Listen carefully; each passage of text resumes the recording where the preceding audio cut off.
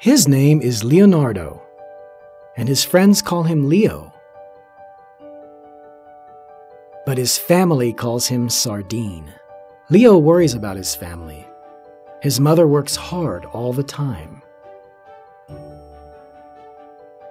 His father is tired and sad a lot. Sometimes, Leo remembers when his father was happier and he wonders how to help him be happy again. But Leo is a curious and playful boy, and he has a plan.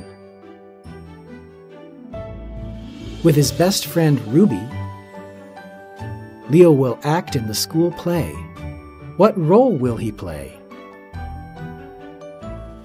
Will his family like it? Will the play be successful?